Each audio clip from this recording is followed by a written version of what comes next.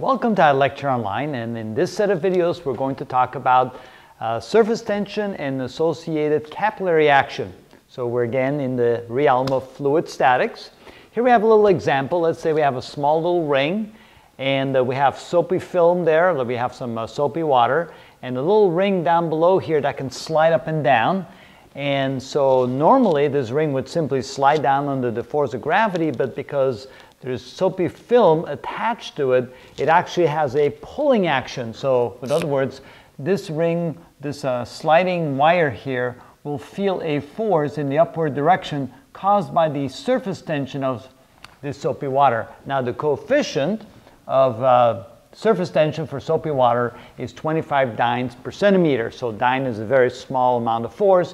One dyne is 1 times 10 to the minus 5 newtons. So we're talking about just very small forces, but for very small objects, that does make an effect. So then assume that the uh, force downward is caused by gravity, which we'll call mg. And let's say that in this particular case, what we're trying to find is we're trying to find out what the mass of this little wire is that's suspended from that soapy film and of course, that will then be counterbalanced by the force upward, which we call surface tension. So let's call this F, the force of surface tension, ST. Pulling upward, we have the counterbalance force for the weight of the wire. Okay, now the equation that we use for surface tension is the force caused by the surface tension is equal to the coefficient of surface tension times the length along which this acts. And of course, in this particular case, if you have a wire like that, and we kind of take a cross-sectional view of the wire, you can see that the soapy film has a certain thickness to it, which means that the surface of the soapy film pulls on one side of the wire and pulls on the other side of the wire. So we have to take into account the length of the wire on both sides. So in this case, the length will be, of course, twice the length of this particular wire.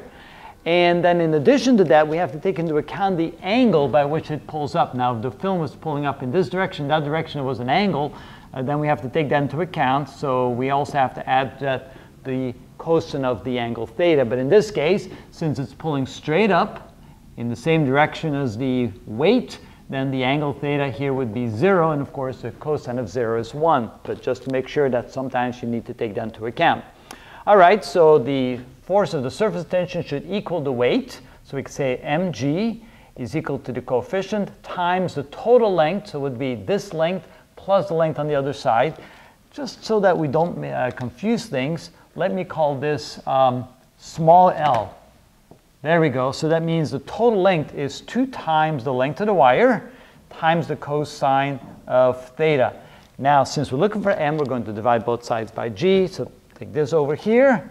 And now we can find out what the mass of that little wire is equal to. So this is equal to 25 dynes per centimeter.